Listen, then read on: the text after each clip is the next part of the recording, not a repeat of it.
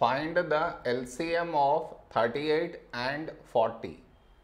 To find the LCM, first we should frame it in this way. 38 comma 40.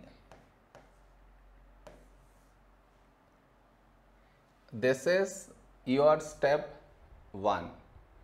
Now you should focus on to the first number which is 38 here. For this number last digit 8 even so take 2. First number 3 a number close to 3 in 2 table is 2 ones 2. 3 minus 2 1 1 carried forward 18. When do we get 18 in 2 table? 2 nines 18. The other number 40 last digit 0 so this is divisible by 2. First number 4 when do we get 4 in 2 table? 2 twos 4. This 0 as it is down.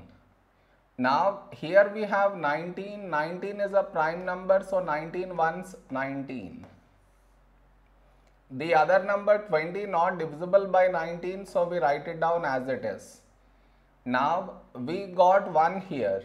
So focus on to the other number 20. 20 is 2 tens 20. Now we have 10, 10 is 2 fives 10. Now we have 5, 5 is a prime number so 5 ones 5. So we got 1 in both the places.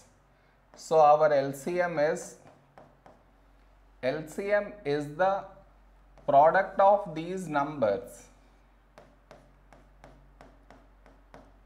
that is 2 into 19 into 2 into 2 into 5. When we multiply these numbers, we get 760 is our LCM.